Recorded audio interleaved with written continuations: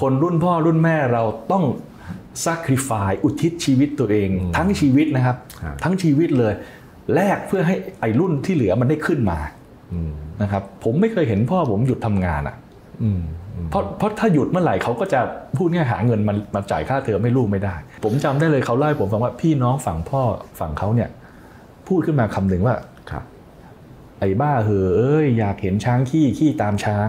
คือคล้ายๆว่าเองเห็นคนนู้นคนนี้เขาส่งลูกเรียนโรงเรียนฝรั่งเองอยากเอาบ้าง แทนที่จะคิดถึงความเป็นจริงเอามันเรียนโรงเรียนอะไรก็ได้มาหางานทำแต่พ่อผมเนี่ยอันนี้ผมทุกวันนี้ต้องนับถือเขามากเขาเด็ดเดี่ยวมากที่จะที่จะเลือกที่จะเดินแบบนี้